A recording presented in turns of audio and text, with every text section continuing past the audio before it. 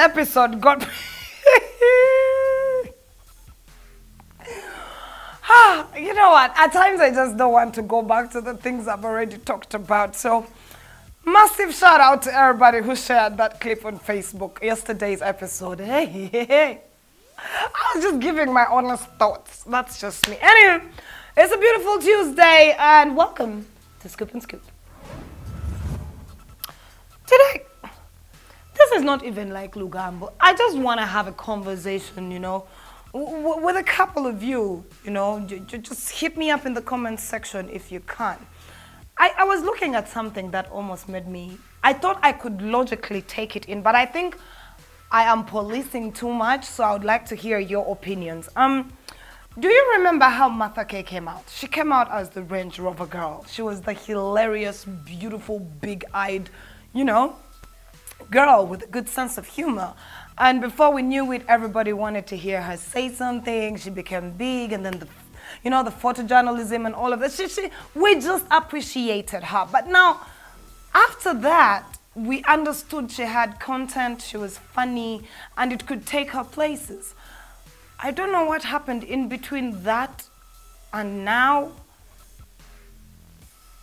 Let me give you a comparison. There's this girl. I swear I find this girl very hilarious. I every time I watch her TikTok videos, like they brighten up my day. She's called Linda. She works on another TV. Mumumanyi, Linda Day. She's like the new hot sensation right now. I mean, Banova Fabiola takataka temobatekako. But I was trying to ask myself, when I first saw this girl be funny, she was regular folk. She was, I was like, there is so much talent in there. If you harnessed it, which she has done, you'd make so much from it. Something I saw about Martha Kay, something we see about so many different girls. My question though is, what happens between getting the fame, the pub, the, the, the eye of the public, and then undressing?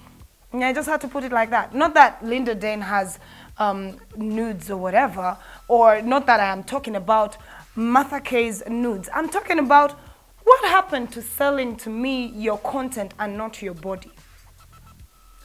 It's, just an honest question.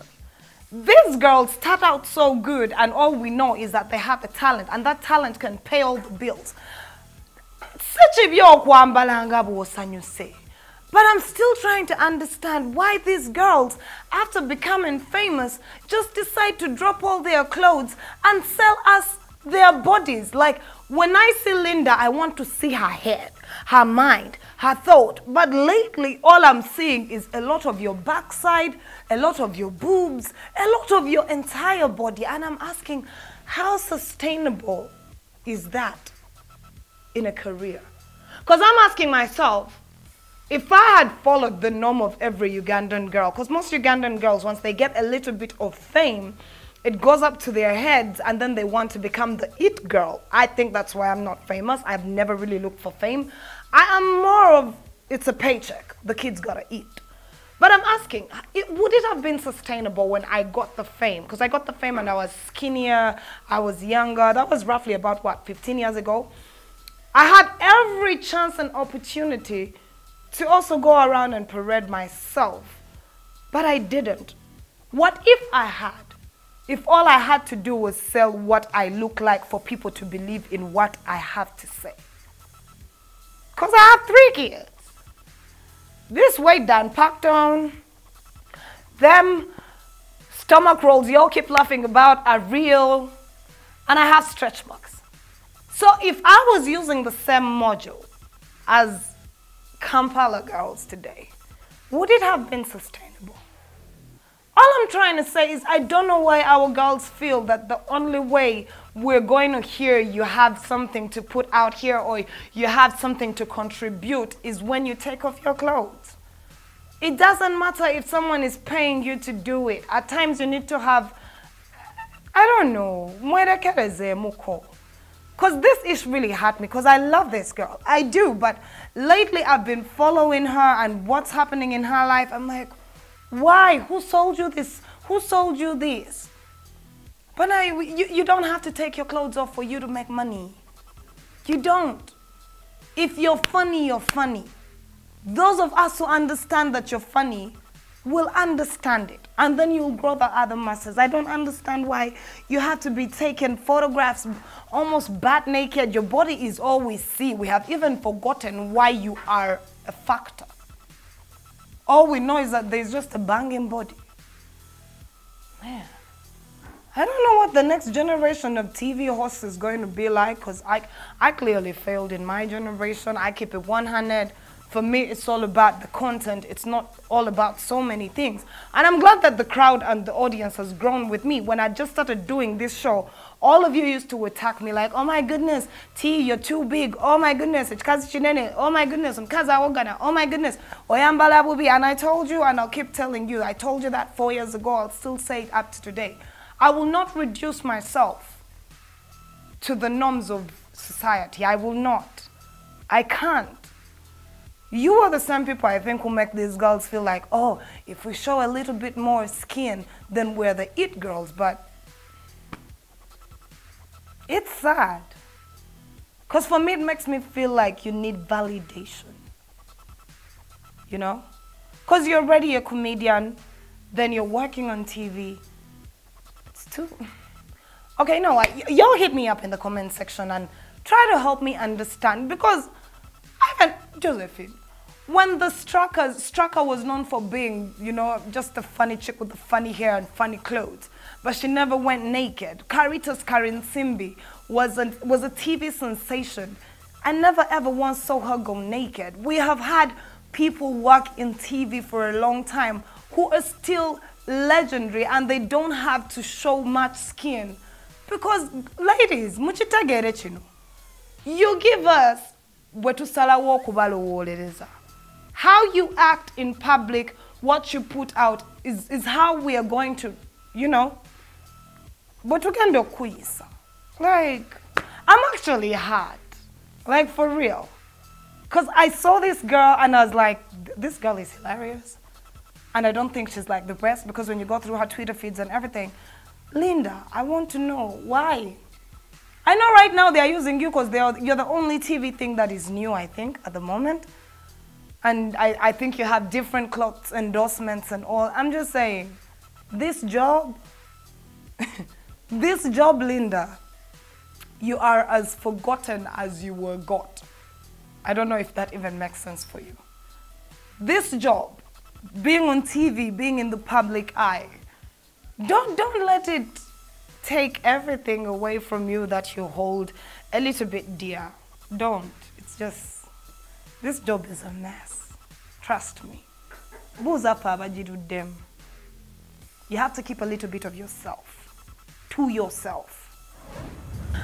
So, Muchara Mjingo Omopia Susan Makula threw um, a surprise birthday party for Bewa Be, Pastor Aloysius Bugingo. And it was in the blogs, almost made it to the news too. And I asked myself?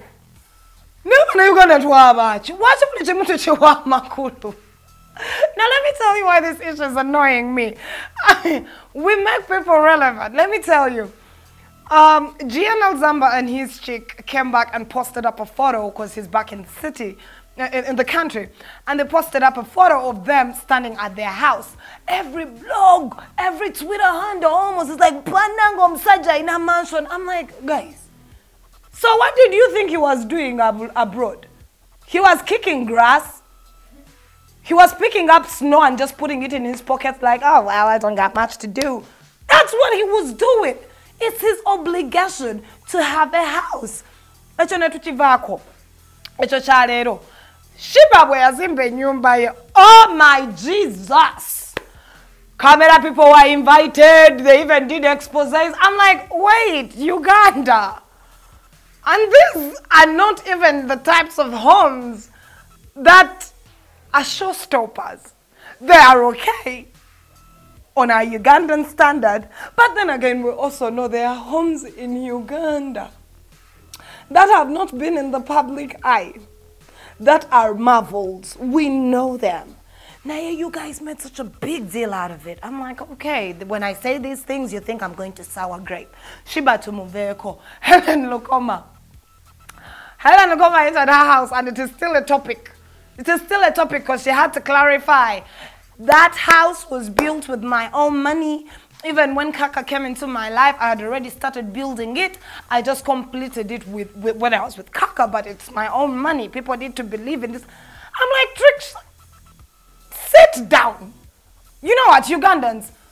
We need to give things that deserve relevance, relevance. Because if she hadn't built your leg in the yo ndibadde mubupangisa nga temuripotinga mbu gundi apangisa ennyumba ya miliyoni asatu ngaapo temuba reporting. It's a necessity. You're supposed to build a house. You're supposed to get, get a car. You're supposed to have medical insurance. They are necessities. Naye banaye okubeera ine sadwaldi country bannange bannange trump yakyogera nga akirabye oh this country is this country. Kati tuba tukyali tu- tuvuddeko helen lukoma. Josephine ani omulala gwe balaga enyumba aha tuvaamu ebyo byonna katemba katemba katemba. Embaga ya rema nayo nebawujja nebatwala kwegamba mwe mulinganga mpewo buli kyebaleeta mula oh my god shiba built a house. Oh my god helen built a house. Oh my god this one has a car. Where are they working? Notukyebuuzeemuko why are they working huh? And if they have these things, so what? I can't believe that actually blogs run with those stories. So and so's mansion. Do you know mansions? Do you know mansions? Do you want mansions? We can do just a property show in Uganda to show you the exclusive mansions in this country. Oh, boy, oh boy, oh boy, oh boy, if I took you in the hills of Naguru, if I took you to the hills of Munyonyo, if I took you deep inside Chira, those are mansions. naye abaana ne mwena ne mubeera ne mwe- babeeramu ensasage bonna ne a house a house uganda what's wrong with us. Ah, anyway back to the story. She threw, her, she threw him a surprise birthday party. And it's all over social. I was waiting to see like i don't know omukolo gaggadde anti kati tutandikira ku standard ya rema i was expecting to see rema's kuchala as his birthday party but they were just standing outside in the dark with camera phones. Happy birthday to you. I'm like. Besides, it's their marital life. Why the hell? Hmm. I don't know, man. I don't know. Then someone very evil. I thought I'm evil, but they're evil people on social media. Someone very evil said, Ho! Katikano. What's the, what's the wife's first name? That is how irrelevant and insignificant this home is to me. Susan, what's her name? Muchala mukulu. Mm, mbu mukulu agenda zuukuka agende ku bukedde abagambe nga bwe batamuwa buyambi and then it hit me i'm sorry to be this evil too but this chick only used to come out whenever she would see things are flourishing well this side. Oh am i wrong? I mean whatever happens dear uganda please make my 2020 a better year than this one. Please tulekerawo okubeera n'amaalo nga twogera ku bintu ng'embaga. If, if, if they are not flying in ice sculptures from, from, from russia or some caviar and ish tulekerawo okuwoggana right tulekerawo I remember how everyone was like, "Oh my goodness, Rema's ring is this." I was like, mm, I also, I also pun intended. I was like, "It's expensive," but we all know, we all know, it's like a better grade of zirconium. what am I even saying? You know what?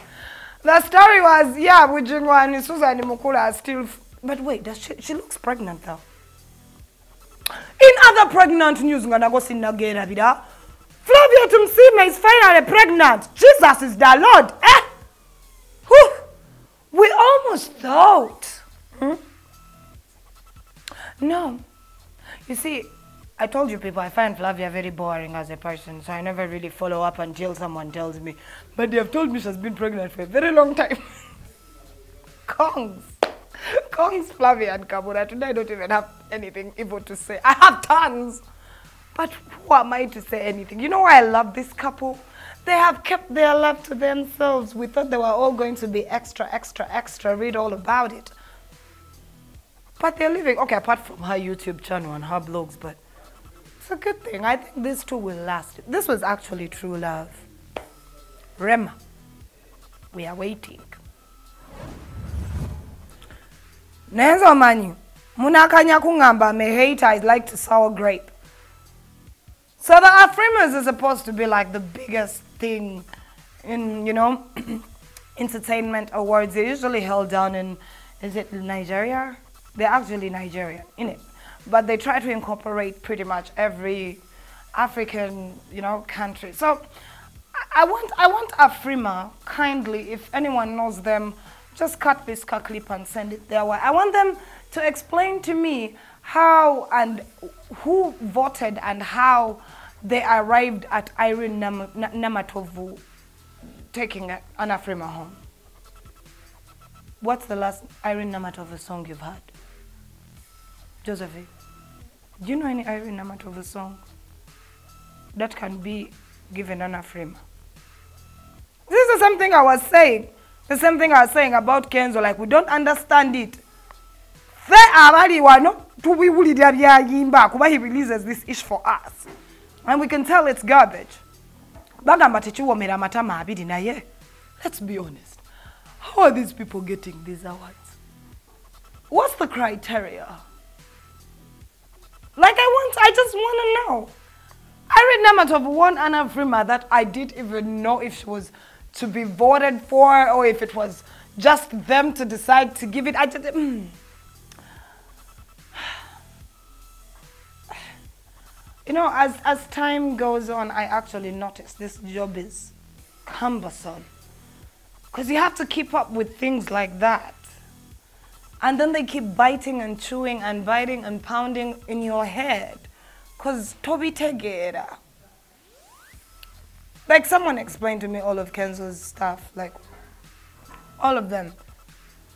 I mean, someone just sent me direct links to the polls or to those particular awarding systems so that nzikakkanya omutima ŋŋambe kagayi tukazalawalira wano eri kanene which we know munene by the way eri but know.